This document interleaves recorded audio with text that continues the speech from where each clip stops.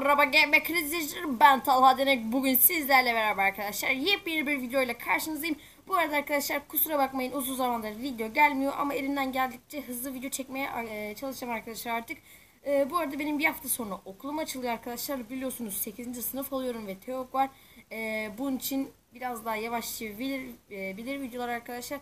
Ama yine de mesela nasıl desem ben artık size haftada bir ya da iki video atacağım artık kesin arkadaşlar. Böyle çok fazla bekletmeye gerek yok. Bu arada gördüğünüz gibi arkadaşlar e, bir facecam kullanıyorum. Kasıyor mu lan?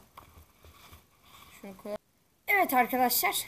Bugün ne yapacağız diye sorarsanız bir hafta önce çektiğimiz bir serinin ikinci bölümünü çekeceğiz. YouTube yardım rehberi.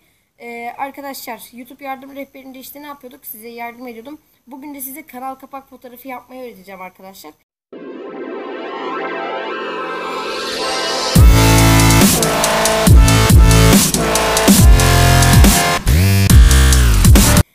Nasıl e, banner yapılır işte kanal kapağı yapılır onu göstereceğim arkadaşlar.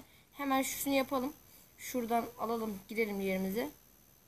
Arkadaşlar bunun için bugün gereken e, uygulamalar bizim için foto editör olacak. E, bir de e, Pixel Lab olacak. Foto editörden videolarımı, e, fotoğraflarımızı editleyeceğiz ve Pixel'dan da e, ismimizi yapacağız arkadaşlar. Yani yazı türünü falan onu orada halledeceğiz. E, programlar bunlar olacak arkadaşlar. Bir tarayıcımızdan birkaç tane de fotoğraf indireceğiz. E, fotoğrafları şimdi video içerisinde göreceksiniz fotoğrafları siz de beğendiyseniz indirme linki aşağıda bulabilirsiniz arkadaşlar. Bu arada e, videoya tam olarak başlamadan bir saniyeliğine e, video like atmayı unutmayın arkadaşlar. Lütfen like atın. Like atın ki daha çok video atma isteğimiz gelsin. Videolar like atmışken abone olun arkadaşlar. Hemen pod editörümüze giriyoruz. Ve buradan galerimize basıyoruz arkadaşlar.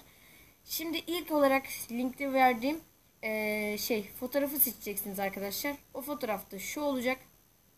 Bu. Gelsin. Evet.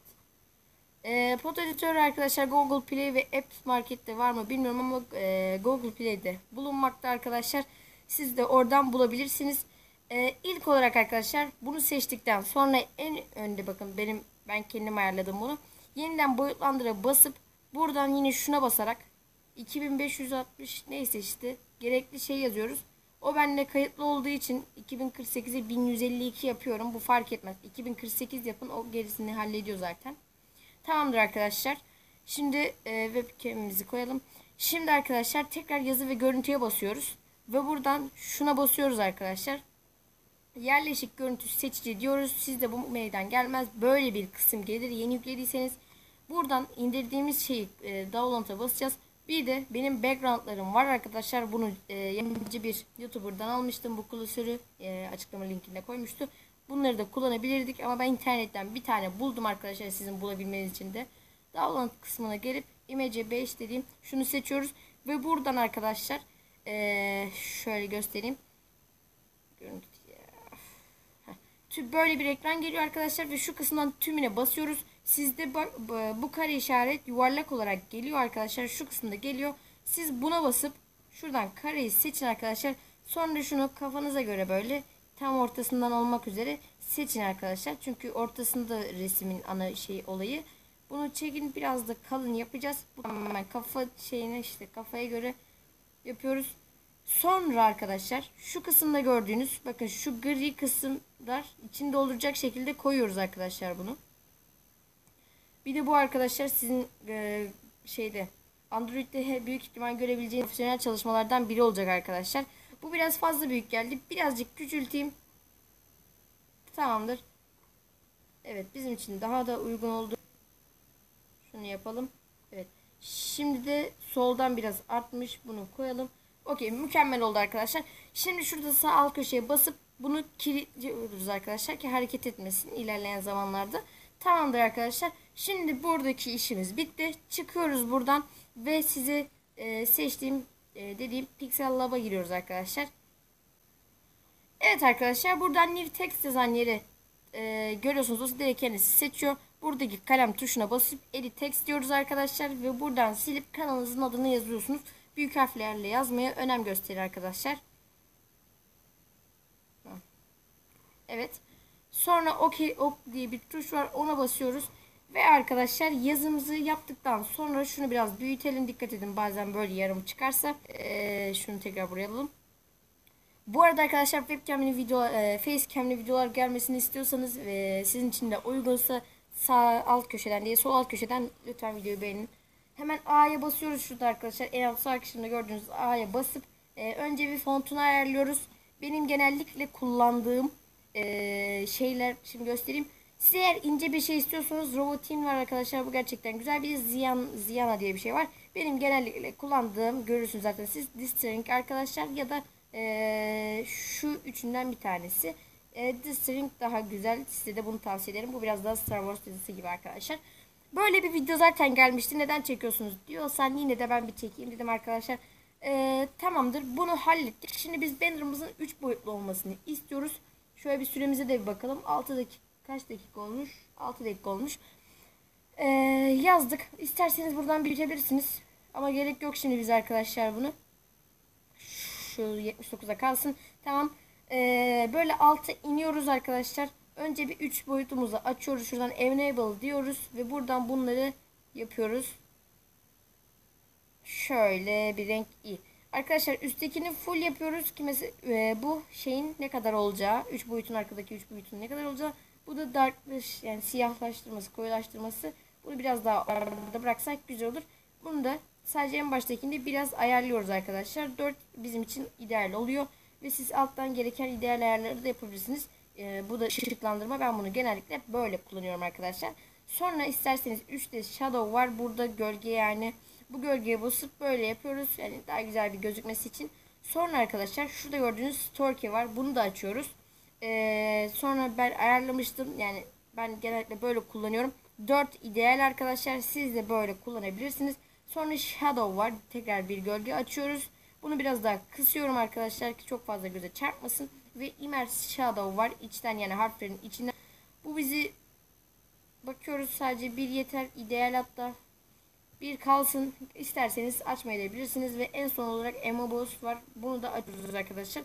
Bu şimdi böyle çirkin gözükebilir ama tekstürüne göre değişiyor arkadaşlar. Şimdi yukarıya çıkıyoruz ve tekstür kısmına basıp şurada şu imece bastığımızdan sonra sadece bir kere diyoruz.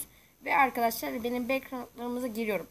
İsterseniz backgroundlarında yani kendi şeylerinizi kullanabilirsiniz. Bunun linkini şimdi koyamayacağım arkadaşlar. Bunun için özür dilerim. Çünkü bende güzel bir şey yok.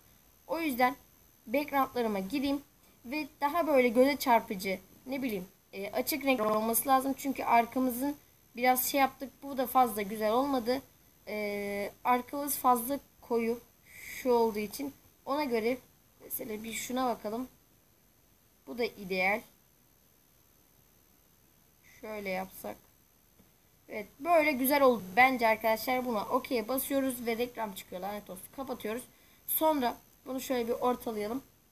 Ee, bakıyoruz başka yapmak istediğiniz bir şey varsa siz de aynı yapabilirsiniz.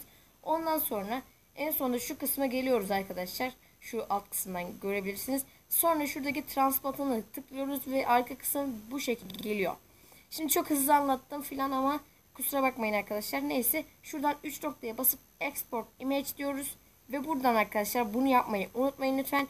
Şuradaki formatı tıklayıp PNG diyoruz. Yani PNG deyip Save to Gallery diyoruz ve işlemimiz tamamlanıyor arkadaşlar. Şimdi hızlı bir şekilde piksel değil pod editöre geçiyoruz.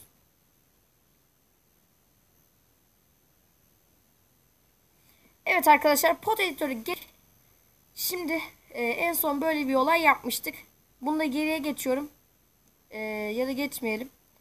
Evet geçmemize gerek yok. Şu kısımdan şuna basıyoruz arkadaşlar ve tekrar yerleşik görüntü seçici diyoruz. Bu download kısmından geri çıkıyoruz ve de e, en son yaptığımız Pixel App'taki GameMaker şeyine tıklayıp bunu isterseniz biraz şöyle yapalım ki daha kolay olsun. Neyse böyle kalsın. Böyle yapıyoruz ve bunu bayağı güzel bir şekilde büyütüyoruz. Bunu büyüt. Şurada tekrar buna basıp bunu kilitliyoruz arkadaşlar. Şimdi e, varsa sizde görseller olarak yerleşik görüntüyü seçip bunu daha çok güzelleştireceğiz arkadaşlar şimdi. E, bakalım bende var mı? Neyse yazımız bu kadar oldu. Bu bayağı basit oldu bir şey yaptık arkadaşlar. Siz bunu isterseniz ilaveten bir şeyler koyabilirsiniz. Şimdi biz bu basit oldu bu kadar. Ee, bunu şöyle açıyoruz en baştaki yaptığımız kilidi. Şu yani. Sonra bunu büyütüyoruz arkadaşlar. Ee, hani ne olur ne olmaz diye.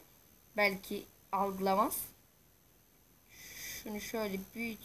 Yanlışlıkla şeyi büyüttük. Şunu bayağı böyle büyütüyoruz. Buraya koyuyoruz. Tamamdır arkadaşlar ki ya- yani yazı hep orada kalsın. Yazıyı sakın ellemeyin. Bu şekilde oldu. Ee, bundan sonra uygula kısmına basıyoruz. Ve tamamdır. Ee, sonra da kaydet deyip arkadaşlar buradan galerimize kaydediyoruz. Bu şekilde etkili bir ee, banner yaptık arkadaşlar. Şimdi şu kısımdan sonra ben size ee, bunu YouTube'daki halini göstereyim isterseniz ee, keserek geleyim. Bu arada şapka öğrenmişsinizdir umarım arkadaşlar. Bir de bir önceki YouTube yardım serisinde bayağı sıkıcı konuşmuşum arkadaşlar. Bunun için özür dilerim ama çok güzel bir izlenme gelmiş. Bunun için de sizlere çok teşekkür ederim. Ee, eğer serinin devamını gelmesini istiyorsanız arkadaşlar i butonundaki e, şey yapabilirsiniz. e, ankete katılabilirsiniz. Oradan da bana yardımcı olabilirsiniz arkadaşlar. Ee, siz bir önceki videoma ulaşmak istiyorsanız alttaki açıklama kısmından linkini bulabilir veya üşenip oraya gitmek istemiyorsanız dediğim gibi i butonuna basarak bir önceki videoma gidebilirsiniz arkadaşlar. Neyse şimdi e, size YouTube'a koyduktan sonraki en son halini göstereyim arkadaşlar. Resim olarak göstereceğim. E, o yüzden şimdi kapanışı yapayım. Hepinizi çok seviyorum arkadaşlar. Kanalıma abone olmayı ve videolarıma like atmayı unutmayın. Bu arada biraz hızlı konuştuk sanki. Özür dileriz. Neyse arkadaşlar. Bye.